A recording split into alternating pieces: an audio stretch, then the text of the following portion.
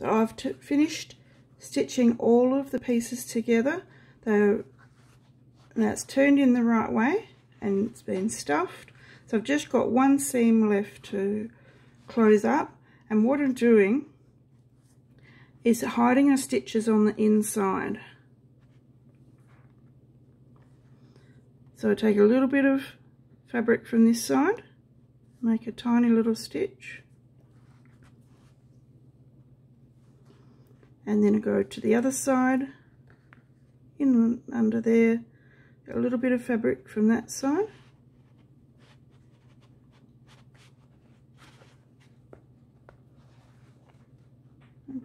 ah that one went through to the the top so I'm actually going to unpick that because that's what you don't want to happen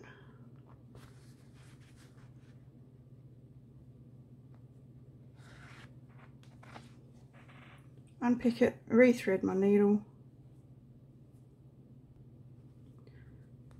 so I'll try again when I'm taking a little bit of fabric from this side aha uh -huh. You don't want it to go through to the top to show it.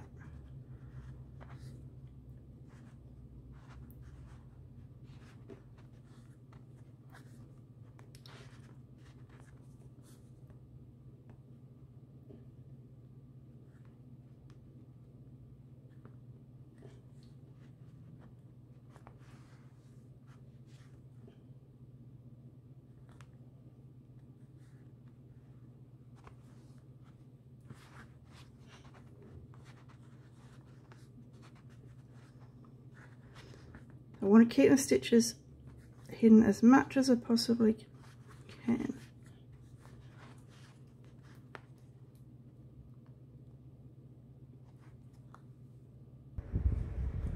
I finished sewing up the last little bit, last edge along there, and I've got plenty of pin cushions, so this is going to be for all my badges.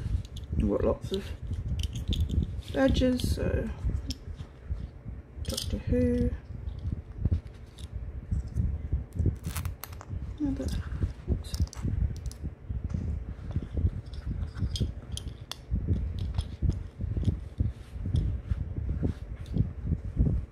Here's a new interesting way to display my badges.